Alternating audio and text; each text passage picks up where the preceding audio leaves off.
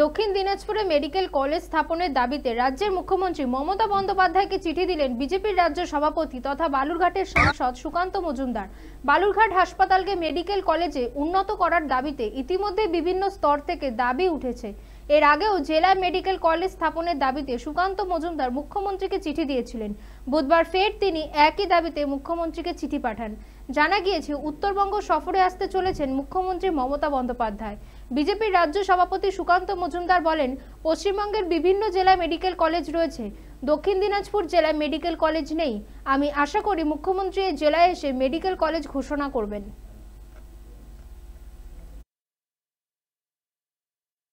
দেখুন, আমি মাননীয় মুখ্যমন্ত্রীকে চিঠি দিয়েছি যে আমাদের জেলায়, আশেপাশে সব জেলায় মেডিকেল কলেজ আছে। এর আগেও আমি প্রথমে চিঠি দিয়েছিলাম। উনি তার কোনো প্রত্যুত্তরও দেননি হ্যাঁ না কিছু বলেননি।